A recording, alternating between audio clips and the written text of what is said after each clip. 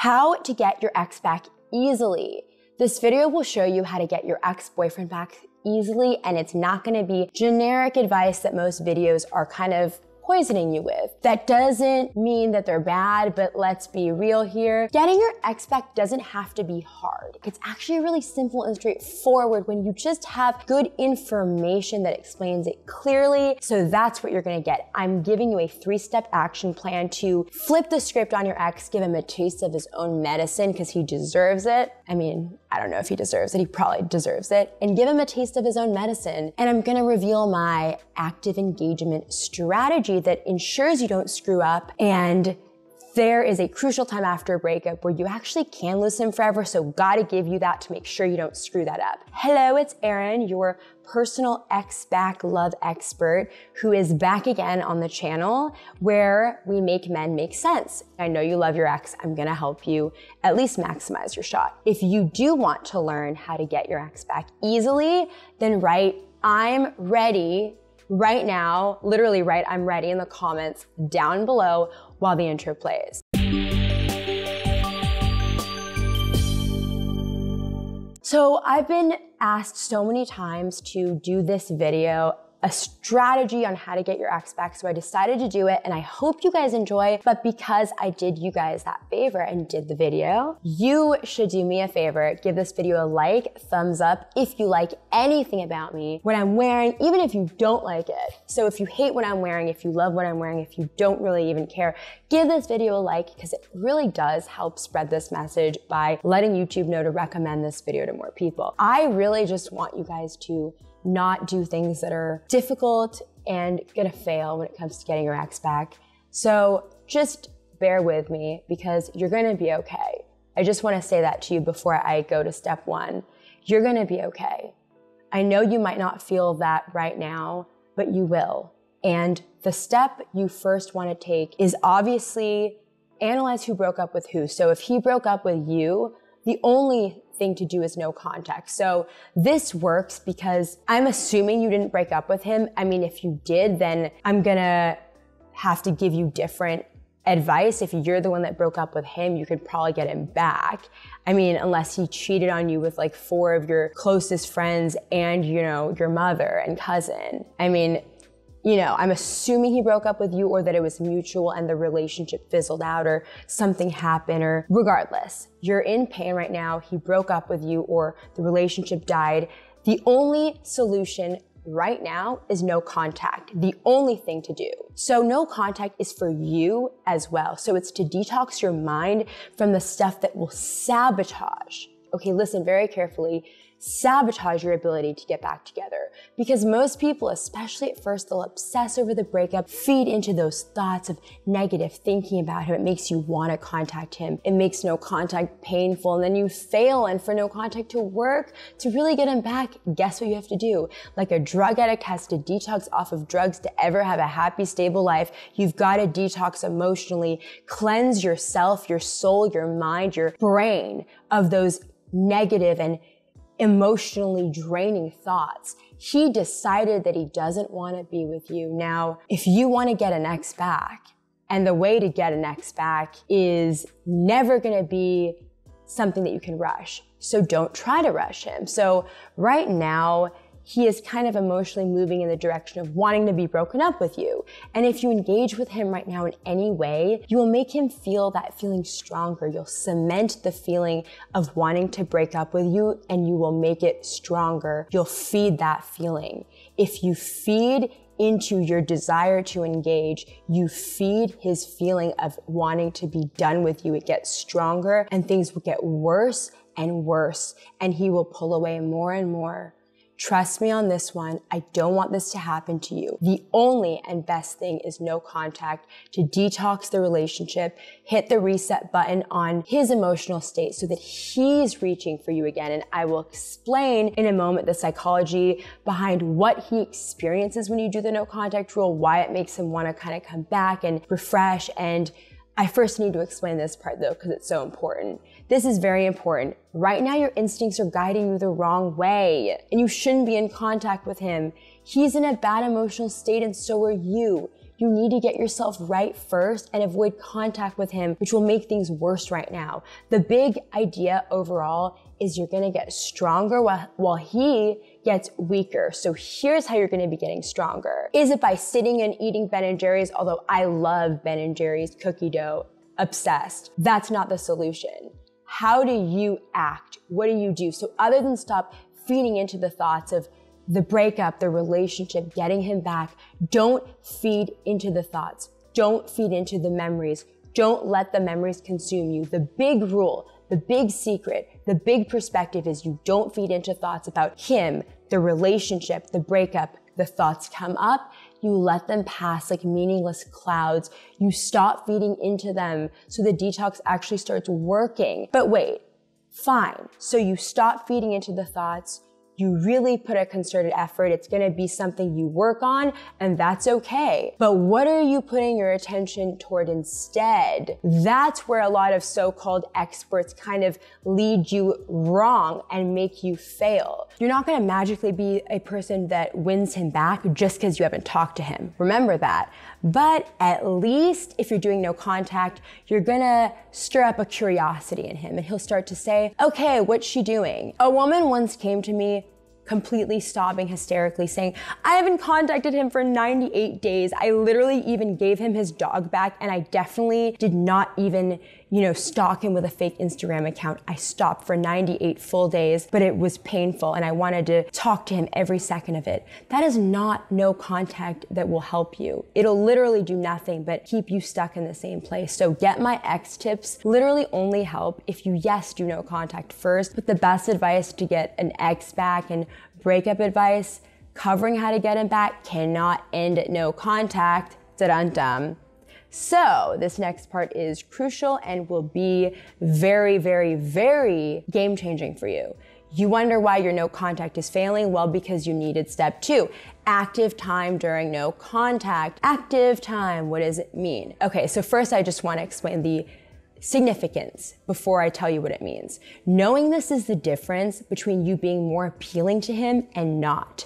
And the active time makes you better to be around and your ex will probably notice. Now, can't guarantee because yes, it is gonna be your best chance, but the active engagement strategy will put you in your best winning position. It's like a sports match. Not saying you should compare this to a basketball game, but you can't guarantee an outcome of something. You have to play the game, have a strategy, go in it to win. You put the odds in your favor. I'm stacking the odds in your favor with the active engagement strategy. So you really should come to a realization that you're working on yourself. It's active. That's all it means. It doesn't mean you're working out, although that's a great thing to do. But it doesn't mean that all it means. And I'm gonna explain a story that illustrates what active time is not. It's actually a very personal story, which I normally don't share at the end, but it will illustrate it perfectly. But first, I wanna get you all the action steps so we have a winning perspective, a plan, because that is what is going to get you results. How you feel on the inside matters. When you feel happy on the inside, you can live in a way that feels happy, regardless of whether you're with him or not. That will help you be attractive to him. You're not only not feeding into misery, but you're putting your energy toward bringing yourself up, your mood up. Your mood is your love magnet. But even more important is that relationships don't make you happy.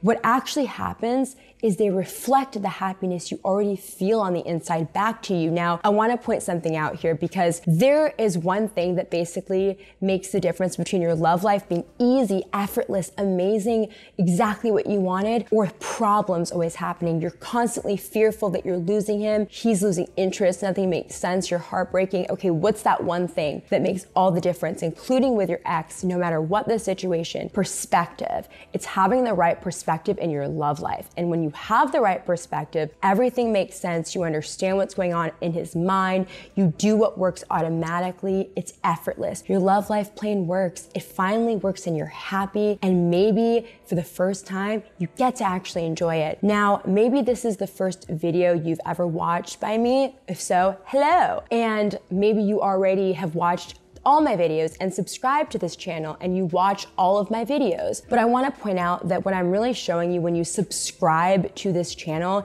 is what the perspective is that really makes your love life effortless, easy, and just plain work the way you've always wanted it to. So if you want a happy relationship, show up happy and understand what living a happy life looks like for you, independent of having a relationship. You're going to have a happy life. You're going to live happy, do things you love, spend time with friends, family, hobbies, find ways to make yourself feel inspired and fulfilled. Write a journal, go kickboxing, do anything you want. You know, do animal rescue. I love animals. So animal rescue is something that would be an amazing thing. And it'll put you in touch with something that's meaningful that isn't related to him. So, how do you do active time? It's really simple. Just be engaged with what you need to feel good. Be on the path toward making you feel good. It might be simple things, silly things, ridiculous things. It doesn't matter.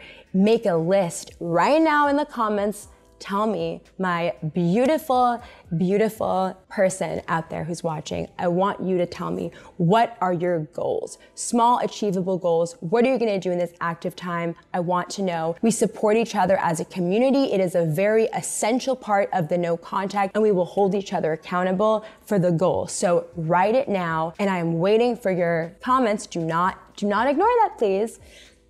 I said, please. Now, don't be worried if it doesn't work immediately because yes, you are gonna feel better eventually, but time is essential and it does heal all wounds. And right now, I know that you feel stuck, like you're broken and in this endless pit of just aching heartbreak. And I know it might even seem impossible. You can never forget the man that you love. You need him back. You think you'll be hooked in the situation forever. Well, you won't. I know it feels that way, but sooner or later, you'll be okay. You'll find yourself again. And I want to give you step three of the strategy because the strategy is going to be essential for you to have clarity and emotional peace. So give him the space to contact you because he probably will while you're living your happy life. Waiting is very smart for a few reasons. First, it's more powerful if he reaches out. He's the one doing it, and it's not like you're reaching out or trying to make something happen, and very, very powerful. And number two, it will make it more likely that he will get back together with you because guess what he's gonna think? It's all his idea. He's the one who's putting in effort because of his own feelings inside, motivating him to act. He will have his own inner motivation to win you back and pursue you. No contact allows the man who you love and miss to have his process. I'm gonna lay it out for you right now. So here's the process. You don't want to interrupt it or you won't end up in a situation where he'll even think of getting back together. So you give him space so this process can happen. First, he misses you. Then he wonders if he's lost you. Then he seeks reassurance he hasn't lost you. And he will seek reassurance when you do not contact to make sure he still has you. He'll put this feeler out there. He'll put it out. Hey, is she still waiting for me? Is my sure thing there? Will she take me back? Uh, if you don't respond and are not clearly waiting, then guess what? He's gonna start to doubt the fact that he has you as a sure thing. Uh oh. If if he thinks he's lost you, then what happens? One of two things. He either lets you go or makes a strong play to get you back. And you know this is happening if he's directly or indirectly trying to get your attention, you know, suddenly starts to bump into you or you see him more often because why? He wants the reassurance that he still has you. You flip the script. Yay! I love it. But seriously, allow him to reach for you. Do not interrupt his process or reach out to him. Don't give him the impression or say, I'll wait for you forever. I wish I could play a song for you guys right now. Lana Del Rey, Dark Paradise. This is a song that I, one of my favorite songs ever. Make fun of me, I don't care. I love Lana Del Rey and Dark Paradise. But that idea though, that you're waiting forever, I'll always be here no matter what. Oh my God, I love you so much. Don't do that. No when he starts putting his feelers out, this is when you starve him of that even like one morsel of reassurance. You don't give him reassurance at all. That is a fact. Please don't, really don't do anything but what I just told you. Don't ever say, in those initial feelers, oh, I'm so happy you reached out. I miss you so much. I love you so much. Oh my God. And then he's like, oh, I have her. Who cares? Boom, done, process dead.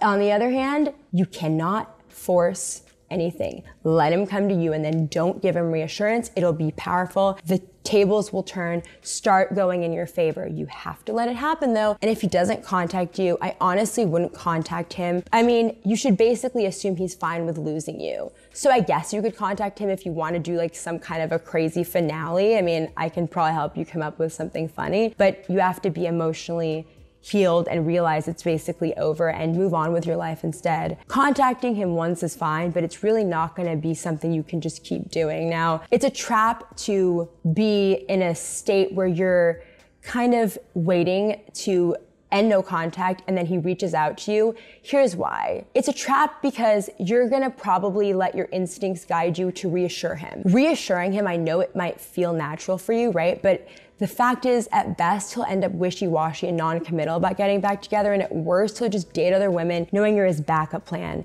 So I want you to be very clear about this. If a relationship conversation does come up, you can say something like, the breakup was hard for me too, but I've accepted it and I've accepted that I'm 100% single now. And if he's being vague about the possibility of getting back with you or seeing you, then you can say, well, the breakup has been hard for me and getting to a good place inside has been tough. If you're saying you want to get back together, we can have a conversation about it. Just clear. And if he says anything that implies he doesn't want a relationship or that he's not sure, you can say, I understand. This stuff is emotional and heavy. If you're not sure what you want, I totally understand. And that's perfectly okay. But please understand that unless you decide you want to be in a relationship with me, we should not be in contact. I kind of cringe saying the last part, we should not be in contact, but you got to kind of lay down the law. So the big understanding here is that you are not going to convince him to come back. He will convince himself to come back because he knows he will lose you if he doesn't. Giving him space, though, will set up what makes him come around, and the space is going to be magical. Now, keep in mind, if he understands that you've accepted the breakup and that you understand yourself to be single 100% and he's okay with losing you, then that was your signal. He was never going to commit to you in the way you wanted in the first place. And yes, it's disappointing, but it's a gift. And honestly, you're gonna be surprised by just how powerful this is when you use this three step approach. It will help you so much. And you're just bringing yourself back to feeling happy and okay inside while giving him space does all the rest of the work for you. And then this is a very, very, very sad truth that I have to kind of end with.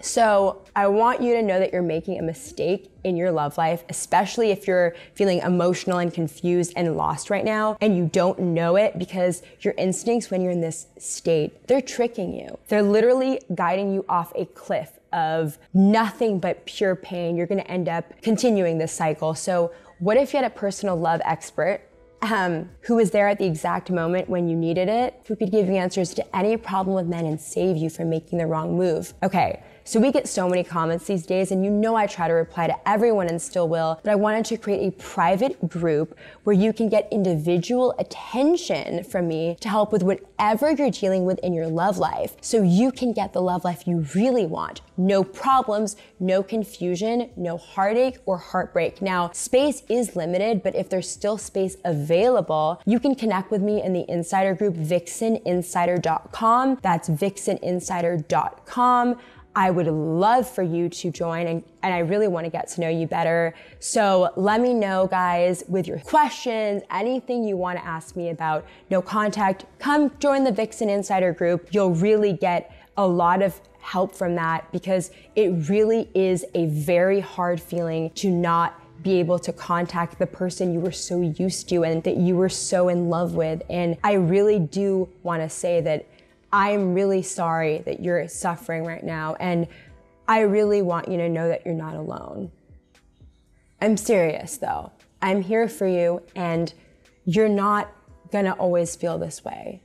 You're a very good person, and you will see light at the end of this tunnel. I really promise you that, and I will be there for you the entire way, okay? And I really appreciate the ongoing support, you guys. I love you all so much, and I really can't explain what a kick I get out of seeing you guys get the kind of results that I've seen you get. So I'm very excited about where the future will take us together. Love you all. See you next time.